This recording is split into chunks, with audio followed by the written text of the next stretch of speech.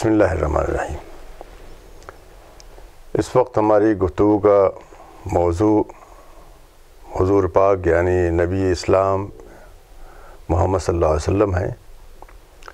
محمد صلی اللہ علیہ وسلم جو کہ آج سے پندرہ سو سال پہلے عرب میں مبوس ہوئے تھے، وہ ساری دنیا کے لیے نبی تھے، ساری دنیا کے لیے ہدایت لائے تھے۔ ان کو قرآن شریف نے ان کو جس طرح بتایا ہے، اس سے ہم سمجھ سکتے ہیں کہ وہ کیا ہیں۔ قرآن شریف نے بتایا کہ وہ رحمت للعالمین ہیں۔ یعنی ساری جہانوں کے لیے، ایک جہان کے لیے نہیں، بلکہ ساری جہان آج سائنس بتا رہی ہے کہ یہ دنیا صرف ایک نہیں ہے، اس کے ساتھ بہت سی دنیایں یہاں موجود ہیں۔ اور کسی کو معلوم نہیں کہ وہاں پہ کون سی مخلوقات ہیں۔ ان سب کے لیے اللہ پاک نے کہا کہ وہ رحمت تھے۔ رحمت تھے تو ہم کو دیکھنا ہوگا کہ ان کی ذاتی زندگی میں وہ کیسے تھے؟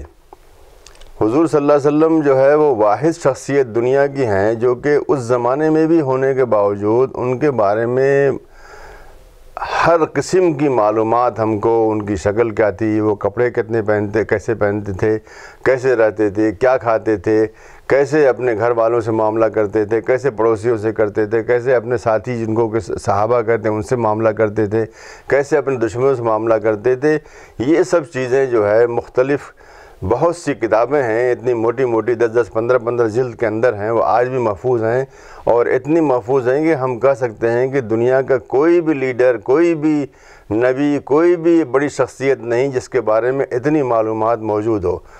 ان معلومات کی روشنی میں ہم دیکھتے ہیں کہ حضور پاک جو ان کے بارے میں اللہ پاک نے کہا کہ رحمت للعالمین یعنی سارے جہانوں کے لیے رحمت ہیں، تو یقیناً اپنے معاملات کے اندر بھی وہ ویسے ہی تھے۔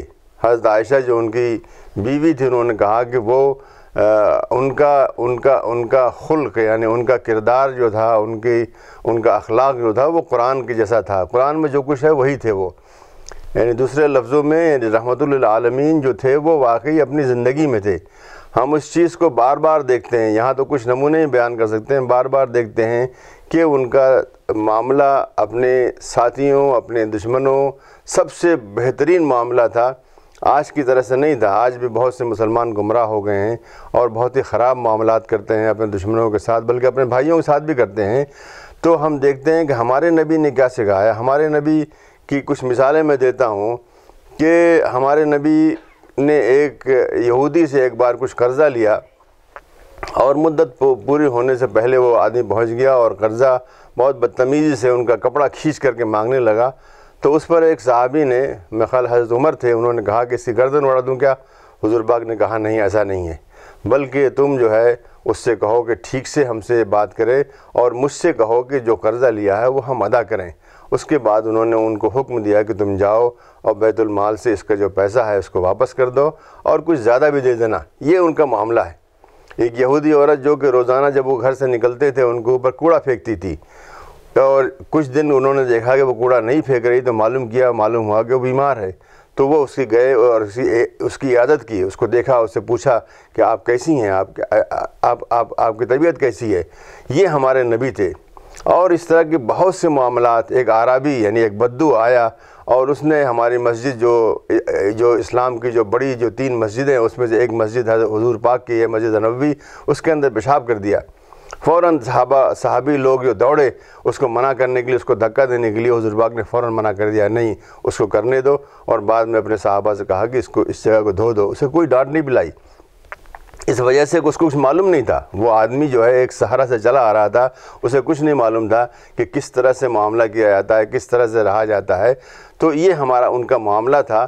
جب بھی اس طرح کے معاملات ہوتے ہیں، اب آپ دیکھیے کہ وہ لوگ جنہوں نے ان کو بائیس تیئیس سال تک مستقل ان کی زندگی اجیرن کر رکھی تھی، ان کے خلاف مکے کے اندر سازشیں کرتے تھے، ان کے ان کے ساتھیوں کو مارتے تھے، ان کے ساتھیوں کو لنچ کرتے تھے، اور اس کے بعد مدینہ جب حضور باغ چلے گئے مدینہ بھی جانے کے لیے انہوں نے مجبور کیا، ایک دن سب تیار ہو گئے کہ ان کو قتل کر دیں گے، نعوذ باللہ۔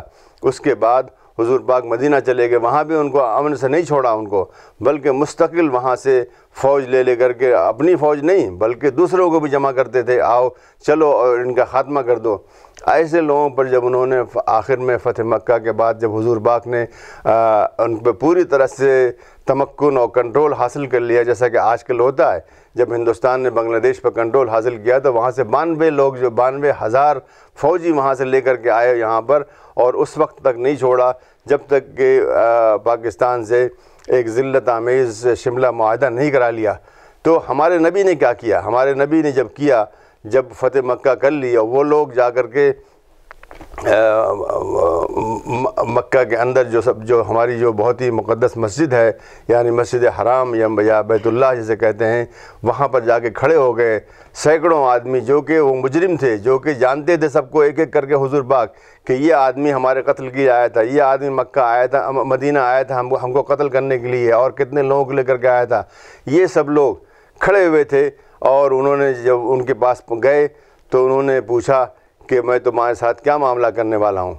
تو انہوں نے کہا کہ آپ ہمارے بھائی ہیں جو چاہیں گے، آپ معاملہ کریں گے۔ تو وہ اگر حضور باغ چاہتے تو اسی وقت ان کی گردن اڑا دیتے۔ ان سے کوئی منع کرنے کرنے والا نہیں تھا۔ وہ پورے طرح سے وہاں پہ کنٹرول میں تھے۔ لیکن حضور باغ نے کہا، جاؤ تم سب آزاد ہو۔ یہ معاملہ حضور پاک کا ہے۔ اس معاملے کو اگر ہم سمجھ جائیں تو ساری دنیا امن و سکون کی ہو جائے گی۔ نہ صرف عالم اسلام، بلکہ ساری دنیا میں اگر یہ معاملہ ہو تو آپ دیکھیں گے کہ امن و سکون اور آشتی جو جس کی ہم سب لوگ منتظر ہیں، وہ سب سب سب ہم کو مل جائے گی۔ بشرطے کہ وہ سلوک اور وہ کردار اور وہ کریکٹر جو کہ حضور پاک نے نہ صرف بتایا آج کل بہت سے لیڈر بتاتے ہیں، لیکن ان کی ذاتی زندگی میں ہم دیکھتے ہیں وہ کچھ اور ہوتے ہیں۔ وہ رشوت بھی لے رہے ہوتے ہیں، وہ اپنا کنٹرول بھی استعمال کر رہے ہوتے ہیں، وہ کسی کو ڈرا بھی رہے ہوتے ہیں، کسی قتل بھی کرا رہے ہوتے ہیں۔ لیکن ہمارے نبی نے آج تک کسی کے کوئی نہیں کہہ سکتا کہ انہوں نے اپنی ذات کے لیے کچھ کچھ کچھ اس طرح کا کام کیا ہو، جس کو وہ نہ کہتے ہوں۔ جو بھی وہ کہتے تھے، وہی کرتے تھے۔ ان کے پاس پیسے کی کوئی کوئی کمی نہیں تھی۔ اس زمانے میں جنگیں ہوتی تھیں، جنگوں سے بہت سے مال غنیمت آیا کرتے تھے، وہاں رہتے تھے، زکوٰۃ ہوتی تھی، سب کچھ ہوتا تھا۔ اس کے باوجود حضور پاک کے بارے میں ان کی بیوی حضرت عائشہ، جو میں نے ابھی عرض کیا تھا، ان کا کہنا ہے کہ تین تین مہینے گزر جاتے تھے اور ان کے گھر میں صرف پانی اور کھجور کا کھانا اور ناشتہ ہوتا تھا۔ یہ ہمارے نبی تھے جو چاہتے تو جس طرح چاہتے رہتے۔ یہی وہ نبی ہیں، جبکہ جب مکہ میں تھے تو ان کے پاس کافروں کا یعنی مشرقین ہے ان کا ایک پورا ایک جتھا آیا، ان کا ایک ڈیلیگیشن آیا اور انہوں نے کہا کہ محمد، یہ کام چھوڑ دو اور تم کو جو چاہیے ہم تم کے لیے کر دیں گے، تم کو بادشاہ بنا دیں گے، تم کو جتنا پیسہ چاہیے وہ کر دیں گے، عرب کی جو سب سے خوبصورت ترین عورت ہے وہ تمہاری شادی کر دیں گے۔ تو انہوں نے کہا کہ نہیں اگر تم میرے ہاتھ پہ میرے اس ہاتھ پر چاند اور اس ہاتھ پہ جو ہے سورج رکھ دو، اس کے باوجود بھی میں یہ جو کہتا ہوں، اس سے میں، اس سے نہیں، اس سے اس سے ہٹ نہیں سکتا، اس سے اس سے مکر نہیں سکتا۔ یہ ہے یعنی اپنے جو بھی ان کا اعتقاد تھا، جو ان کو اللہ پاک نے بتایا تھا، اس پہ اتنا ان کو اعتماد تھا کہ وہی صحیح ہے۔ اور اس کے لیے انہوں نے کوئی بڑی سے بڑی رشوت بھی قبول کرنے کی نہیں قبول نہیں کیا۔ آج کے معاملات میں دیکھیے کہ بڑے بڑے بھی جو ہے یعنی رہنما اور کس قسم کے لوگ ہیں، چھوٹی چھوٹی باتوں پر بھاگ جاتے ہیں اور وہ باتیں جو لوگوں سے کہتے ہیں، اس پر عمل نہیں کرتے ہیں۔ تو اگر اس طرح سے ہم دیکھیں، یہ میں نے آپ کو صرف چند نمونے ہی بتائے، لیکن ان کی زندگی پوری پوری زندگی، بلکہ نبی نہ ہونے سے پہلے بھی ان کی جو زندگی ہے وہاں پر مکے میں کچھ لوگوں پر ظلم ہوتا تھا تو لوگوں نے کچھ ایک کمیٹی یا ایک ایک طرح کا ایک گروپ بنایا، اس کو ہیلف الفضول کہتے ہیں۔ اس کے بھی آپ ممبر ہو گئے کہ کہ کسی پر کوئی ظلم نہ ہو، نہ کسی باہر سے آنے والے پر ہو، نہ مکہ کے اندر رہنے والے پر کوئی ظلم ہو۔ اور انہوں نے بعد میں کہا، جب اسلام آ گیا، جب اسلام مدینہ میں پھیل گیا، بلکہ سارے عرب میں پھیل گیا، اس کے بعد بھی کہا کہ اگر اس طرح کا کوئی گروپ بنے تو میں اس کے ساتھ شامل ہو جاؤں گا۔ یعنی اس وقت بھی حضور پاک انہی انہی انہی چیزوں پر قائم تھے جس پر وہ بچپن میں تھے۔ بچپن میں بھی وہ اچھے تھے، بلکہ جب وہ نبی بنے تو اس کے بعد وہ ڈرتے ہوئے آئے اور ان کے سمجھ میں نہیں آ رہا تھا کیا چیز آ گئی ہے۔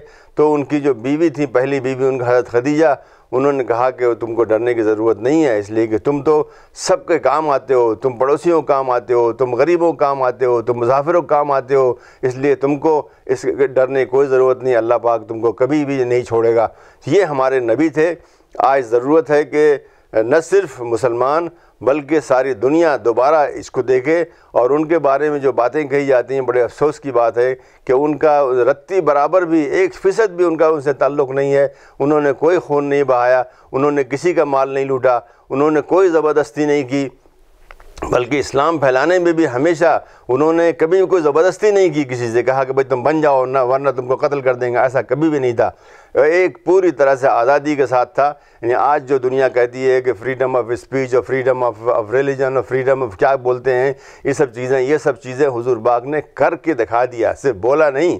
بہت سے لوگ بولتے ہیں، لیکن وہ لوگ جو کہ ہیڈ آف اسٹیٹ یعنی وہ اس وقت مدینہ میں جب تھے، تو وہ ہیڈ آف اسٹیٹ تھے اور ان کے اوپر کوئی طاقت نہیں تھی۔ یعنی دنیاوی طاقت جو تھی، جیسے پارلیمنٹ ہوتی ہے یا سپریم کورٹ ہوتی ہے، کوئی چیز نہیں تھی۔ بلکہ وہ جو کچھ کہتے تھے، وہی چیز پر عمل ہوتا تھا اور ان کے ساتھی ایسے تھے کہ اگر وہ اشارہ بھی کرتے تو اس کو دوسرے آدمی کو قتل کرنے کو تیار تھے۔ ایسے ساتھی ان کو ملے ہوئے تھے، لیکن کبھی بھی انہوں نے اپنے اختیارات کو غلط طریقے سے استعمال نہیں کیا، کبھی بھی کسی کا خون نہیں کیا، کبھی کسی کے مال پہ قبضہ نہیں کیا، بلکہ یہودی بھی جو میں نے آپ کو مثال دی تھی، یہ اور بھی بہت سی اس طرح کی مثالیں ہیں۔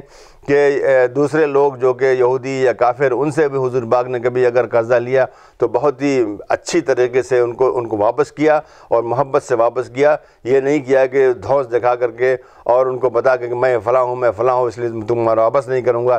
ایسا انہوں نے کبھی کوئی مثال نہیں ہے۔ اور جیسا میں نے پہلے عرض کیا کہ ان کی جو پوری تاریخ ہے، وہ اتنی موٹی موٹی کتابوں کے اندر، دس دس پندرہ پندرہ جلد کتابوں کے اندر موجود ہے۔ ایک ایک چیز موجود ہے۔ صبح کیسے ہوتی تھی، شام کیسے ہوتی تھی دوپہر کیسے ہوتی تھی، رات کیسے ہوتی تھی، کس طرح سے وہ رات بھر جو ہے ذرا سا سوتے تھے اور باقی عبادت کرتے تھے۔ حالانکہ وہ اللہ پاک کے قریب ترین آدمی تھے جس سے اللہ پاک گفتگو کرتے تھے، یا اللہ پاک کا پیغام ڈائریکٹ طریقے سے ان کے پاس آتا تھا، اس کے باوجود جو ہے وہ اسی طرح سے بندے تھے اللہ پاک کے۔ اور جس طرح سے بلکہ دوسرے لوگوں سے زیادہ تھے، دوسرے لوگوں کو اتنا کہتے تھے، بہت زیادہ نماز نہ پڑھو، بلکہ دوسرے کام بھی کرو، لیکن اپنے لیے انہوں نے نہیں رکھا ہوا تھا، بلکہ اتنا رات کو اٹھ کے نماز پڑھتے تھے کہ ان کے پاؤں سوج جاتے تھے۔ یہ چیزیں سب لکھی ہوئی ہیں ہماری کتابوں کے اندر، اور بہت تفصیل سے لکھی ہوئی ہیں۔ تو میں یہ عرض کرنا چاہوں گا کہ حضور پاک کی اگر تاریخ کو، ان کی زندگی کو صحیح طریقے سے پڑھا جائے تو اس سے مسلمانوں کو بھی بڑا فائدہ ہوگا، اس لیے کہ ہم مسلمان مسلمان اپنے آپ کو کہتے ہیں، لیکن عمل نہیں کرتے ہیں۔ جب تک ہم عمل نہیں کریں گے، ہم سچے طریقے سے اس نبی کے پیروکار نہیں ہوں گے، جس کے بارے میں اللہ پاک نے کہا کہ وہ رحمت للعالمین ہے۔ ہم کو بھی رحمت للعالمین بننا ہے۔ ہم کو بھی بحیثیت مسلمان، وہی سب کچھ کرنا ہے جو کہ حضور پاک نے کیا تھا۔ ان کا پیغام بھی پہنچانا ہے اور اپنی زندگیوں میں اس کو نافذ کر کے بھی دکھانا ہے۔ اگر ہم نہیں نافذ کریں گے، تو گویا ہم اس پیغام کو نہیں مار رہے ہیں۔ شکریہ والسلام علیکم ورحمۃ اللہ